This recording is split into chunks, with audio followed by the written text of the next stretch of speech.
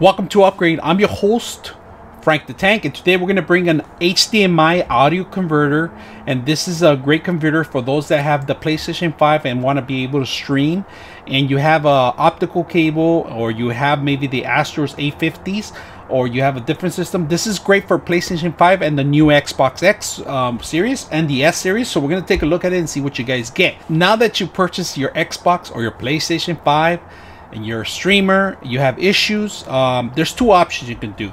You could buy the Astro box, or you could buy the JTech version, or you can buy this version, the cheapest one out there. I'm going to take a look at it and see what you get. So pretty much they're all the same. Right now, the earliest conversion is um, 2.0. There's no 2.1 or 2.2 right now. There's no box that will convert your actual audio connections into those versions, but there are different differences on these two and we're going to take a look at it on and compare it to the actual astros that are physically not in my hands but they're we're going to talk about it reviewing with pictures and let you guys know what you can do with this one instead of the astros. Um, the astros about the same price you know than this, this these were for 20 dollars so i'm going to take a look at it see what you get. So the box is huge. Not just kidding. It's a very small box now. Now we're going to put this on the side and we're going to get everything out you get the cables, the optical cables, and you get more cards, business cards, and instructions how to set it up. It tells you right here, DC V5 volt, uh, basic phone adapter. One of these adapters will power up, but a lot of these TVs have an extra USB that has a 5 volt connection or anything that you could plug in direct to your computer. You could just power it up. Now, this is a, a slim USB. It's a USB, micro USB, if you could see it and it tells you there DC5V in that's pretty much where you actually put your power in. Now HDMI in this is where you actually power you actually connect the actual HDMI going in. Now this is very important because there's two different channels. There's a channel 2 bypass and there's a 5.1 channel. So the audio differences is between it, it depends on your system. Now before you set this up, you also have to change it on your PlayStation and your Xbox too. So in order to convert the actual audio. So um, people are having issues where it, they, they plugged something like this, but it's not working. Well, the problem is that you have to go into the audio settings and you have to say you have to extreme, um, stream the audio to the actual HDMI instead of the headsets or it's going to keep coming back. So just make sure not only the settings here, but you have to uh, actually do it on your PlayStation and your Xbox. So that's another thing. So it has the two different channels here. Channel 2 pass and then the 5.1 channel. Uh, um, behind it, it's basically the optical out, and this is where we're gonna do a little setup, and then HDMI out. So if you are streaming, these two are very important, of course. This was an option, so it's, it's, it's we're not gonna even use it on the setup. So the great thing is that they give you the audio cables, but these cables are obsolete now. I don't think a computer could even take them, but you could plug them directly to speakers or other stuff that they're still, uh, you know, accessible. So we're gonna put this in the side, maybe use it in the future, but right now we're not gonna use it. Now they do give you the micro USB power it up.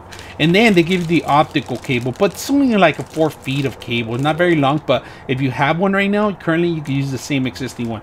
So we're gonna go ahead and plug this into the Astros. How we're gonna be streaming through the Astros uh, and then the PlayStation, and we'll take a little video on the whole thing. So today we're just gonna do plug it in directly to the Astros. So you have the setup here. You have your Astro box, your A50 box, and then you have your power for your Astros, and then you have the optical cable. The optical cable is very important. This is where you actually come in right here. So on the optical cable is what you do is you go just plug it in directly here into this direction.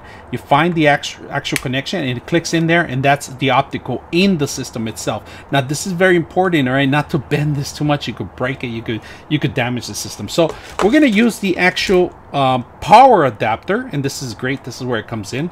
And and this is one thing I like about the system that that the base itself is also a charging station too. So we'll plug it in here. There's a charging station area charge charge it in here and we're just going to plug it in directly into the micro USB here.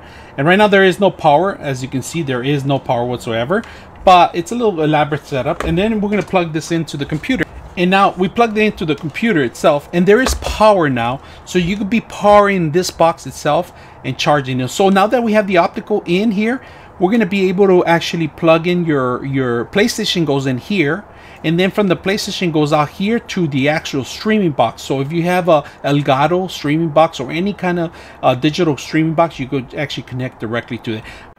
All right, so I got the video to work with the optical system. We're gonna take a look at it, and if you guys can see, um, it's gonna be moving around here. See if you guys see that. So we are in business.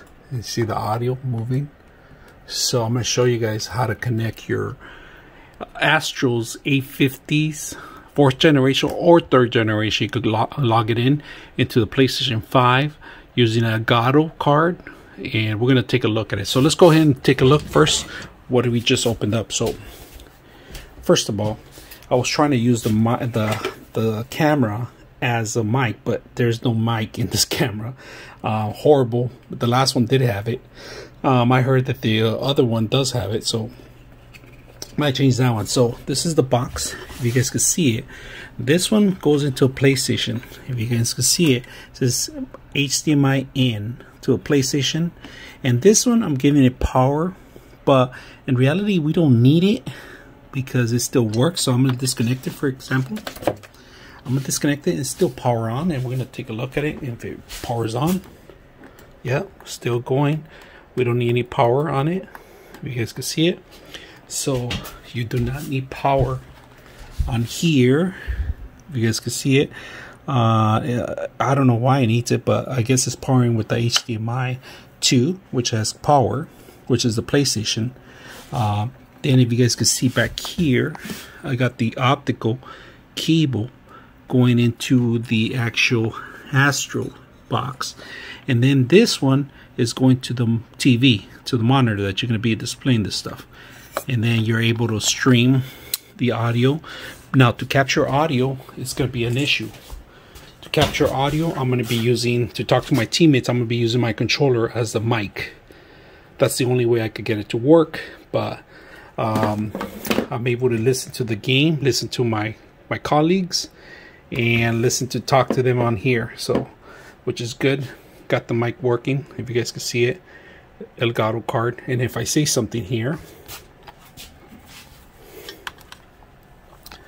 I'll pick up the mic, test one, two, three, test one, two, three, mic, mic check, mic check. So I got, I'm using a Elgato A50s to work with the PlayStation 5. Got my Stream Deck, PlayStation 5's in here. Of course, I had a computer in here, but we're gonna move it out. Um, unfortunately, these don't have mics, which um, very, very, very horrible that they don't have it. Uh, we're still missing a monitor. I'm setting up my my little area here. But so far I got it to work. HDMI from PlayStation to, to TV and then optical to optical out to the headsets and got it to work. But you need to change a couple things on your PlayStation to make it work but it's working. So if you guys have any questions or any comments let me know